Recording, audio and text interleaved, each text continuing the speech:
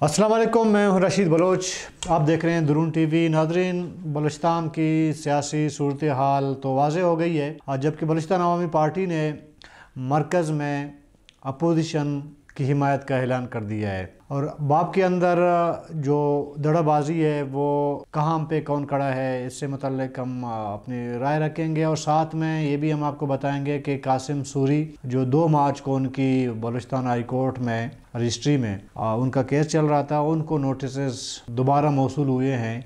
अब मैंने पिछले प्रोग्राम में कहा था कि मुमकिन है कि कासिम सूरी को नाल करार दिया जाए। इससे मतलब भी हम अपनी जो इतलात हैं, वो हम आपके सामने शेयर करेंगे, जो हमारे नए नाजरन हैं, जिन्होंने हमें सब्सक्राइब नहीं किया है, वो सब्सक्राइब करें और अपना फीडबैक भी देते रहें। नाजरीन, एक चीज़ तो वाज हो गई है कि बलोचिस्तान अवामी पार्टी के अंदर दड़ेबाजी तो है, लेकिन ये है कि मुश्तर तौर पर एक फ़ैसला हुआ है। वो फ़ैसला जाम कमाल ख़ान की ग्रुप की जानब से हुआ है कि उन्होंने अपोजिशन जमातों को तहरीक अदम अतमाद की सूरत में साथ देने का फैसला कर लिया है। इससे कबल वजी अजम इमरान खान गए थे, खालिद खान मकसी से मिलने, जहाँ पे बलुचिस्तान अवामी पार्टी के तमाम एम एन एज और सैनेटर उसमें मौजूद थे और कुछ एम पी एस भी मौजूद थे। इमरान खान साहब खालिद खान मकसी से मिले और खालिद खान मकसी ने वजी अजम पाकिस्तान को जो पार्लिमानी आदाब हैं उसके अंदर रहते हुए। तो इसके बाद ये पोजीशन वाज हो गई बाप की। आ, बाप चूँकि आपको पता है कि गुज्तर साढ़े तीन सालों में तहरीक इंसाफ की हिमायत में थी और अब जो उन्होंने अपनी हिमायत ख़त्म कर दी है, वो हिमायत इसलिए ख़त्म कर दी गई है कि जो बाप के पार्लिमानी लीडर हैं, खालिद खान मकसी, वो और जाम कमाल ख़ान ख़ुद, बहुत सारे जो एम एन एज़ हैं, उन्होंने शायद इसलिए फ़ैसला किया है कि वजी अजम पाकिस्तान का भी मुस्तबिल नहीं है। पहले ये चमगोइयाँ हो रही थी कि शायद तहरीक आदम अतमाद इतना कन्फर्म ना हो या मेच्योर ना हो, लेकिन बाप के जाने के बाद तकरीबन ये समझा जा रहा है कि वजी अजम के ख़िलाफ़ तहरीक आदम अतमाद मेच्योर हो चुकी है। आपको पता है कि बलुचिस्तान अवामी पार्टी या बाप, उनके फ़ैसले हमेशा वो ख़ुद नहीं करते हैं। वो अपने फ़ैसले कराने के लिए कहीं और से उनको फ़ोन आ जाता है। मतलब जो डायरेक्शन उनको मिलती है, उसी डायरेक्शन पे वो अपना फ़ैसला करते हैं। जब इस बार उन्होंने जो फ़ैसला किया तो इसका मतलब ये है कि जिस तरह चौधरी बरदरान ने कहा कि फ़ोन आना बंद हो गए हैं तो बाप को भी फ़ोन आना बंद हो गए हैं। अगर बंद नहीं हुए हैं तो कम से कम इस फैसले के बाद, अपोजिशन की हिमायत के फ़ैसले के बाद ये समझा जा सकता है। अगर कहीं फ़ोन आया भी होगा तो उन्होंने कहा होगा कि अपोजिशन का साथ दें। ये तो कुली किताब है, ज़ाहिर है कि बी ए पी तो कुली किताब है, इसमें कोई शक नहीं है। जैसे मैंने पिछले प्रोग्राम में भी कहा था कि बाप के अंदर तीन सदूर मौजूद हैं। उसमें कौदा बाबर, जहूर बुलेदी और जाम कमाल ख़ान। जाम कमाल ख़ान चूँकि इसलिए सदर हैं कि वो जैसे ही बाप बना बना था, उनको सदर बनाया गया था और मुश्तर तौर पर सदर बनाया गया था। उसके बाद उनका कंसल्टेशन होना था, इंट्रा पार्टी इलेक्शन होने थे, लेकिन वो नहीं हो सके। लेकिन इसी बीच में आपने देखा कि जाम कमाल ख़ान के ख़िलाफ़ तरीके अदम अतमाद आई तो उस दौरान जो नाराज़ दड़ा है, जो मीर कुदुल बिजंजो के साथ था तो उस दड़े ने अपनी तरफ़ से जहूर बुलेदी को सदर बना दिया था। तो इस तरह जहूर बुलेदी को एक दड़े ने सदर बनाया तो इसका मतलब दो सदर बन गए। रफ्त रफ्त ऐसा हुआ कि कौदा बाबर को सदर बनाया गया। अच्छा उसका सदर ऐसे बनाया गया उसको कि जो पार्लिमानी ग्रुप है, बाप का, उसमें M N M P S शामिल हैं। उन्होंने कहीं पे एक बड़े बैठक में बैठ के राय शुमारी की सदारत के लिए। तो अक्सरियत ने कौदा बाबर को वोट दिया और जाम कमाल ख़ान को कहा जाता है कि पाँच वोट मिले, बाकी जितने भी वोट थे वो कौदा बाबर को मिले। तो इसलिए कौदा बाबर भी ये समझ रहे हैं कि वो सदर हैं। लेकिन एक बात बाप की अच्छी रही कि उन्होंने अपना पार्लिमानी जो लीडर है, वो मुश्तर तौर पर खालिद खान मक्सी को मुकर किया और जो भी रफ्त आमद थी सियासी हवाले से वो खालिद खान मक्सी के सरबराही में हुई। लेकिन एक बात ज़रूर है कि अपोजिशन ने बज़ात ख़ुद बी ए पी से कोई रबता नहीं किया। अगर किया है तो वो फ़ोन के ज़रिए बिल वास्ता नहीं हुआ है, बिला वास्ता रबते हुए हैं। बिल मुशाफा ना मुलाकातें हुई हैं ना मुजाकर हुई हैं ना कन्वेंस करने की कोशिश की गई बाप को। इसकी वजूहत शायद यही हैं जो मैंने आपको बताया कि उसके अंदर तीन सदूरें और तीन दड़े हैं। तो इस वजह से अपोजिशन के किसी भी लीडर ने उसमें मौलाना फजलरहमान शामिल हैं, शहबाज शरीफ शामिल हैं और आसिफ अली जरदारी शामिल हैं। इन्होंने कोई रबता नहीं किया बिलमुशाफ़ा उनसे मुजाकर या उनकी हिमात लेने की कोशिश नहीं की।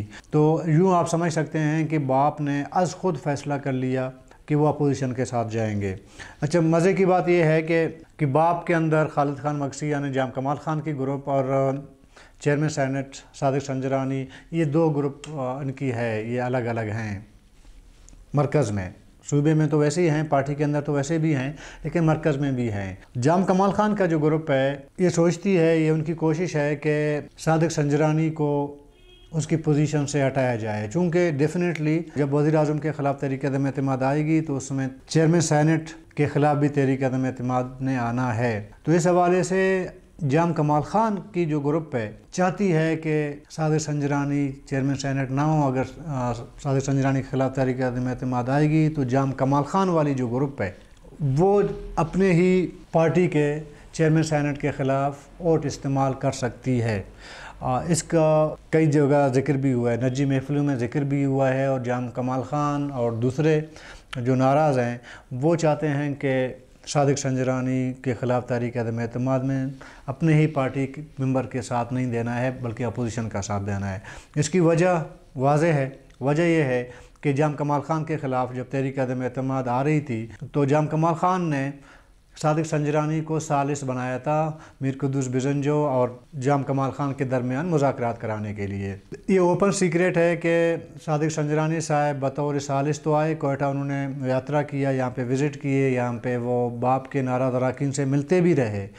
लेकिन दिल से वो जाम कमाल ख़ान के साथ नहीं थे, बल्कि वो चाहते थे कि जाम कमाल ख़ान के ख़िलाफ़ तरीक़ आदम अतमाद पेश हो ही हो।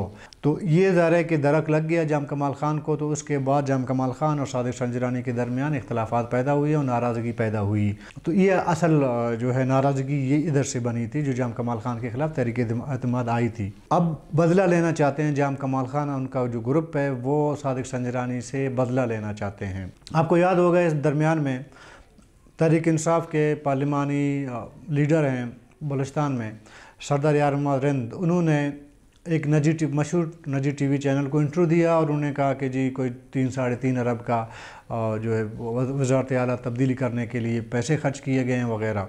तो उसका जवाब बहुत देर से, लेकिन जवाब दिया गया वजी अला बलोचिस्तान की जानब से। अभी जो मैं आपसे बात कर रहा हूँ, एक दिन कबल वजी अला बलोचिस्तान ने इन इल्ज़ाम की तरदीद की। तो ये वज़ी अला बलुस्तान को बहुत पहले तरदीद कर देनी चाहिए थी, लेकिन चूँकि लेट हो गया, लेकिन उसके बाद बहरहाल तरदीद आ गई। अब हमने एक प्रोग्राम में भी कहा था सरदार यारमरिन साहब से कि अगर आप बता रहे हैं कि कोई इस तरह का हुआ है, कोई पैसे इस्तेमाल हुए हैं वजारत अली की तब्दीली में तो पैसे दिए किसको गए?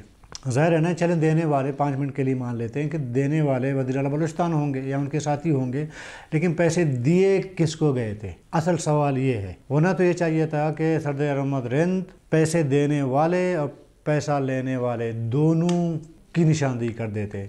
तो फिर ये बात किसी हद तक वाज हो जाती या किसी हद तक लोग यकीन कर लेते कि जो इल्ज़ाम लग रहे हैं वो सही हैं। तो इसमें एक डिबेट हो सकती थी, क्योंकि उन्होंने एक मुबम सी बात की और उसको ज़ाहिर कि मुबम बातें सियासत में होती हैं इल्ज़ाम लगाई जा सकती हैं तो उसको किसी ने इतना सीरियस नहीं लिया, उस पर इसीलिए कोई डिस्कस ही नहीं हो सकी, ना प्रिंट मीडिया में उस पर कोई लिखा गया, ना इलेक्ट्रॉनिक मीडिया में उस पर कोई बहस हुई, ना कोई टॉक शो हुआ, कुछ भी नहीं हुआ। तो फिर मरकज़ के अंदर बाप ने तो ज़ाहिर कि अपोजिशन की हिमायत का ऐलान कर दिया, लेकिन पीटीआई के जो सूबाई पार्लिमानी लीडर हैं, वो तो इमरान खान से नाराज़ हैं। उनकी दो तीन मुलाकातें हुई हैं आसिफ अली जरदारी से। तो ज़ाहिर है कि आसिफ अली जरदारी से मुलाकात का मतलब ये है कि वो अपनी लीडरशिप से नाराज़ हैं और वो खुल के बताते हैं सरदार मरिन साहब कि वो पी टी आई से नाराज़ हैं। तो उन्होंने ज़ाहिर की हिमायत तो अपोजिशन की होगी, लेकिन मरकज़ में जितने भी नेशनल असम्बली के मम्बरान हैं पीटीआई की बलूचिस्तान से। उसमें कासिम सूरी वगैरह हैं। वो इमरान खान के साथ इंटैक्ट हैं। वो इमरान खान को छोड़ने को तैयार नहीं हैं। तो यूँ समझें कि मरकज़ में पीटीआई टूटी हुई नहीं है, जो बलूचिस्तान से जिनका ताल्लुक है। वो इंटैक्ट हैं इमरान खान के साथ। सूबे के अंदर, फिर वही तकसीम, दर तकसीम है, जिस तरह के बाप के अंदर तकसीम है, पीटीआई के अंदर भी तकसीम मौजूद है। इन तमाम सिनारियों में अगर आप देखें तो जिस तरह के वजी अला बलोचिस्तान, काबीना के लोग एम पी एज ये जो इस्लामाबाद में थे, मेन जो मकसद था वजी अला बलोचिस्तान का वहाँ मौजूद होने का, वो ये था कि उनकी मुलाकातें हुई सरदार अख्तर जान मैंगल से और मौलाना अब्दुल वासे से। इस तरह जो बलूचिस्तान से ताल्लुक़ रखने वाली पार्टियाँ हैं ना, उनसे मुलाकातें हुई। वो बेसिकली मुलाकातें चेयरमैन सैनट के हवाले से थी कि चेयरमैन सैनट के ख़िलाफ़ अगर कोई अटैम्प्ट होगा डेफिनेटली मैं जैसे मैंने कहा कि होना है, वो तो होगा।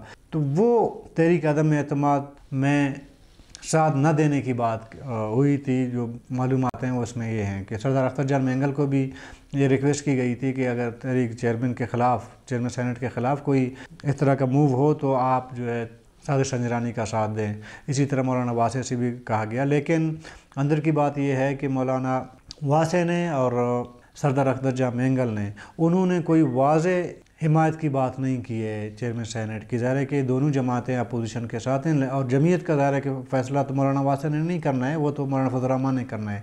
लेकिन बीएमपी का फ़ैसला तो वो तो अख्तरजा मैंगल ने करनी है। तो ऐसे आप समझ सकते हैं कि बाप के एम एन एस भी चेयरमैन सैनट के ख़िलाफ़ हैं वो उनके ख़िलाफ़ जा सकते हैं और बलोचिस्तान से जे या एफ़ भी जा सकती है और बी एम पी भी जा सकती है चेयरमैन सैनट के ख़िलाफ़।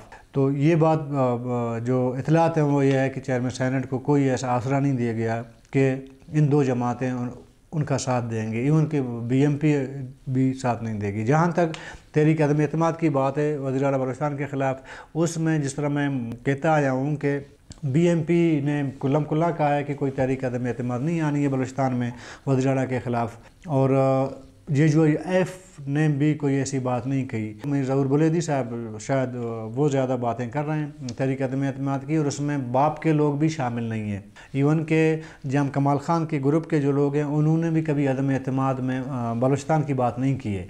वो सिर्फ़ ज़रूर बुलेदी साहब कह रहे हैं। ज़रूर बुलेदी साहब की नाराज़गी में दो तीन प्रोग्राम में बता चुका हूँ, उसको दोबारा दोहराने की ज़रूरत नहीं है। तो कुल मिला मिला के ये बात तय हो चुकी है कि वजी अला बलोचिस्तान के ख़िलाफ़ तहरीक आदम अतमाद नहीं आएगी। अगर बिल फ़र्ज़ आ भी जाए, लेकिन उसमें बाप का कोई कैंडिडेट नहीं होगा, बाप को कोई सपोर्ट नहीं करेगा। बाप को ही, बाप के ही किसी बंदे को वजी अला बनवाना है तो उसमें कुद्दूस बिजन जो स्टेम जमीयत और बी एम पी के लिए बेस्ट ऑप्शन है, बेस्ट बेहतरीन उनकी जो है वो एक कोऑर्डिनेशन है, वो चल रही है तो वो नहीं होगा। हाँ ये मुमकिन है कि अगर अपोजिशन की दो जमातें, जे जो और बीएमपी और साथ में ए को एच को, बाकी सिंगल सिंगल जो पार्टियाँ पार्टियाँ हैं या सिंगल सिंगल जो लोग हैं, अगर वो उनको तमाम को मिला के अगर कोई अदम अतम लाई जाए, उसमें बी एम पी या जमीतुलमा इस्लाम को मौका दिया जाए हुकूमत लीड करने की तो शायद कोई बात बन सके या उसमें पेश रफ्त हो सकती है, लेकिन बाप के अंदर